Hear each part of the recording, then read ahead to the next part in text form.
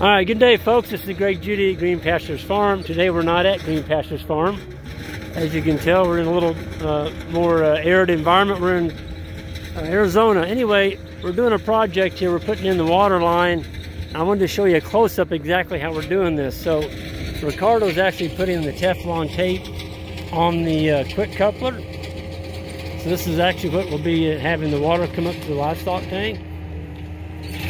So he's running around there too there you go. So he's got two diameters of a tape around there. And now he's going to screw it into this fitting here. And this is a T. So that's a female. That's a female threaded T. You got to get it started straight. There you go. You can feel it when it goes right. There you go. Got it. Good job. So now Ricardo's going to screw that all the way in. Keep going all the way till you can't screw it anymore. It'll bottom out there in a minute. Okay, so now that Teflon, what that did is it sealed those high density polyethylene threads. And you got it, that's perfect right there. Okay. And so this cap right here, when you pop it open, there's the area that you plug your uh, your male into. So there's the male, it just, my finger's the male, it depresses a spring in there. It works like an air hose. The minute you push that down, water comes out. You pull it out, the water stops running into the tank. So now on this, let's, let's open those big old uh, threads off of there. And you want to get the pliers. There you go. So as Ricardo screws this on, so we're running an inch and a half high density polyethylene.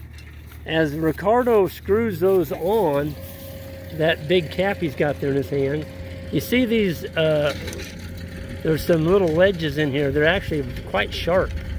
And those go all the way around that whole circle. So as he tightens this down, it cuts these threads into your high density polyethylene. It can't come out. And there's a stop gap in here so that the pipe can't go in any deeper than this stop right here. And then this tightens down on the thread. Actually, it goes all the way into here, I'm sorry. That's, that's quite an outfit. They aren't cheap, but I tell people if you're going to bury it in the ground, don't use cheap parts. Use good parts.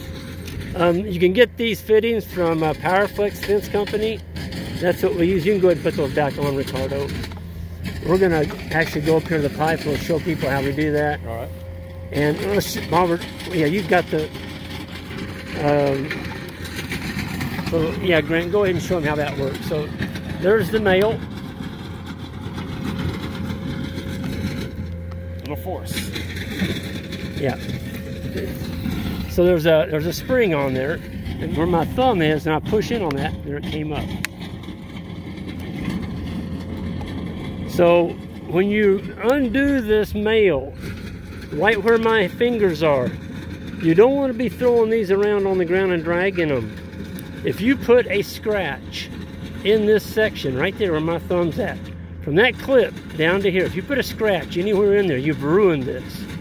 Because that scratch will let water follow that scratch all the way out. Now you've got a leak. So you unplug these, don't just throw them in the back of the pickup or drag them through the rocks. Take care of them. This male will cost you $4.95. The, the female that Ricardo has there in his hands is $14.50. So go ahead and just click that in real quick. Okay, and here's where your water hose goes. So this will actually go to your livestock tank. This what feeds the animals. So you can go ahead and take that out now. The beautiful thing about this, you know, out here in Arizona, you've got scorpions, rattlesnakes, I don't know, you've got all kinds of nasties out here. Yep. Centipedes. You can put that lid back on. There's not a little customer waiting on you, when you stick your hand down in there. Yep. Um, so how are we putting these on? I'll show you. We've got a uh, little riser here that we made. You want to just set that down on the ground, Ricardo? We'll just do a, a demonstration. So there, he's, he's got the riser. There you go. And so we cut mouse holes. This one uh, we need to take up and cut just a little bit wider. We knew that. There you go, you got it. Perfect. So that lets that hose come out each end, or the pipe. And this little riser you can put a cap on here and that protects your riser from the animals snapping it off. In the wintertime, it gives you a little freeze protection down in here because this will all be underneath dirt right here. From my hand down to here, this is all down in the trench. And then we'll have a PVC cap on here to keep the snakes and whatever else wants to mm-hmm. crawl down in there. Mm-hmm. I'm not a fan of snakes. Oh. Black So- widows. Black widows, Oh. you got those out here too? Oh, yeah. Tons of them. Oh, tons of black widows? Yep. Yeah. Oh my gosh. Brown recluse. Brown recluse? Yep. You just got about everything out here. Australia's the only place Okay. where it's gonna- He stopped trenching for a minute, guys. Let's go up here and get this pipe. Usually this year. Yeah, you, you can just leave that there. I just wanted to show the, the folks how this pipe, we don't have it in the trench because he's not all the way done quite yet. But Ricardo's going to slide that off on there. And Grant, when we get done, it looks like you got a little trimming you could do right there. Matter of fact, why don't you trim that? Folks, when you slide that up on there, you don't want all that debris on there. So he's going to take a pocket knife and trim that off of there, get all that gunk off. And you got to look at the ends of these pipes, folks. They're not cut off square. If they're not, take your pocket knife and square them up. Um, we're on a desert here. This pipe is really hot, and so it's cutting really well. If you're up in Alaska, you probably want to use a hacksaw. Now the shavings, will that get clogged up anywhere? No. No, it's going to blast out. We've got such a big pipe. Uh, Ricardo's asking about the shavings. If you had a bunch of them and you had a really small pipe, a half inch diameter, that could be an issue. You could clog those up. Okay, that's good enough. You can finish it in a minute. Let's go ahead and put this on here. So Ricardo's going to slide this. So you're going to put the, this big guy on first. There you go. The nut goes on.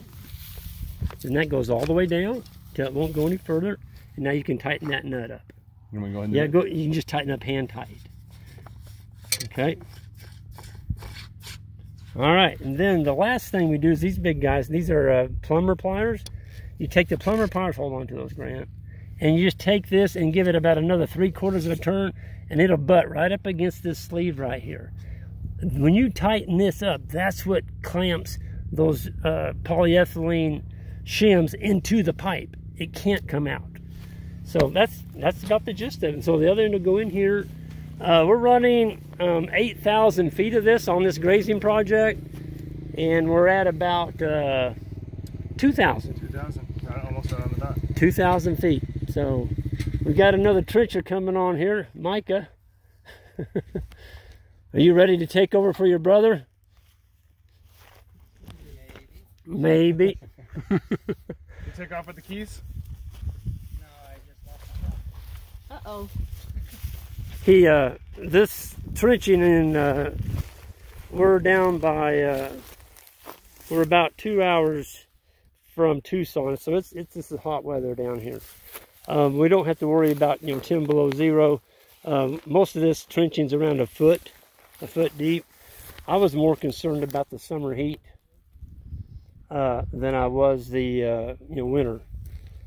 I think they said they hardly ever freeze down here, and if it does, it, it's just not much of a freeze. So we got it down deep enough to escape the uh, summer, the summer heat, and this will all be backfilled. And of course, you get a little bit of sod growing on it. That'll help too. But uh, the fence on this farm is going to be following this. We'll be covering that more to the fencing part of it. But I just wanted to cover the water, how we're doing it, and uh, yeah, this is going to be pretty cool. We're going to have water points every 500 feet, and that's because these pipes, we bought 500 foot lengths, and so at every 500 feet, we put a riser, we put one of these, and we hook on the next 500 feet, we go to the next riser. So it's pretty simple, the water portion of it. The hardest part has been the trenching. They thought they might get 300 feet uh, an hour, and it's more like uh, about 150 feet an hour. I mean, it is some hard, hard ground out here. I just can't believe how hard it is. But, you know, it's been 100 degrees all summer. And uh, we're about an hour from the Mexico border. So it's they've had an extremely dry summer. Um, I think they said this is the third year in a row they've had below normal rainfall. And so you don't get moisture, it's gonna it's gonna hurt you. But uh, with that, I think I'm going to sign up on sign off on the water part, and we'll be covering the fencing and going over the, uh, the history of this project and kind of what we're going to be doing. Anyway, everyone have a good one, and we'll see you all. Hit that subscribe button all the way out. And uh, this is Greg from uh, down south of Tucson, and we'll see you all down the road.